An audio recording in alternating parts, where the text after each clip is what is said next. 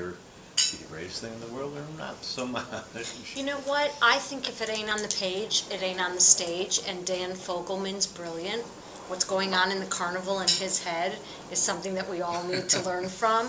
And I, I read the script. I was laughing aloud to myself in my room. Now I've read a lot of pilot scripts and a lot of comedy pilot scripts where you don't laugh and you're like, this is supposed to be funny.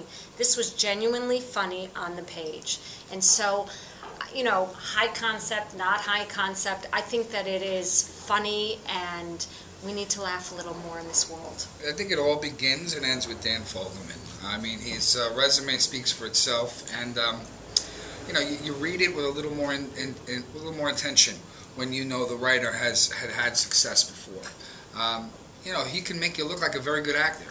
You know, and you have words on, on a page that kind of you, you, you, just have to say them, and, and people say, "Wow, what a great actor he is." But it, you know, it begins and ends with the writing. It's the most important part of the process, and, and I, am lucky to step into something yeah. like this. And I, I think the aliens are basically um, his way of being able to.